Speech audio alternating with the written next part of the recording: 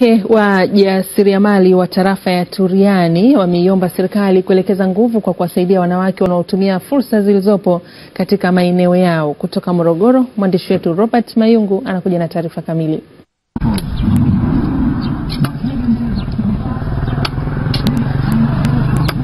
Azam TV imeshuhudia baadhi ya wanawake wakigonga mawe katika kijiji cha Kichangani tarafa ya Turiani mkoani Morogoro na kuzungumza nao kuhusiana na namna wafanyavyo kazi hii. Hii kazi tumeanza zamani, lakini kama unavyojua msaada hatuna, tunajitahidi wenyewe hivyo hivyo, umehangaika hangaika, umepata kidogo, haya, hatuna msaada wowote. Kinacho tunachokitaka tunaomba wa serikali tusaidie na sisi tuwe kama wenzetu wale wa Manyinga pale. Unajua wenzetu wa Manyinga pale wameendelea na hii kazi sisi hapa hatujaendelea chochote kwa sababu hatuna msaada wowote. Nawaomba wanawake wenzangu tujiunge wote, tushirikiane, kwa sababu hii ni shida tu, kwamba kwa sababu tuna shida hii, sio kazi ya kufanya kama makamani niliokuwa nao mimi, ni shida tu. Nikaona nijiunge na wenzangu kugonga kokoto nipate riziki ya kuhudumia wanangu pamoja na kuwasomesha.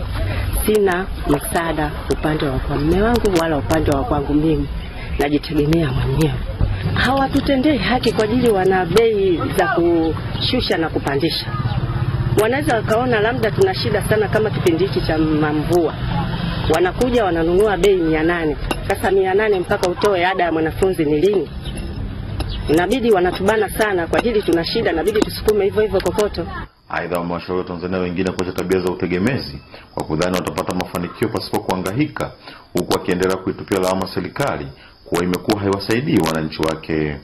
Hapa, hapa nilipo nikigonga hii nyundo inakwenda ndio lisha ndogo.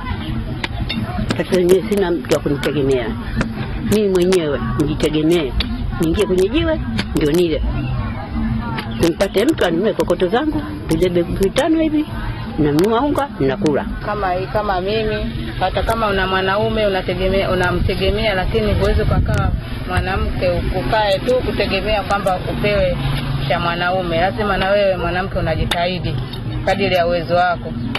Wanawake wa kijiji cha Kichangani wamekuwa wakiendesha maisha yao kwa kutegemea shughuli ya kugonga mawe ili kupata kokoto na kuziuza. Robert Mayungu, Azam TV, Morogoro.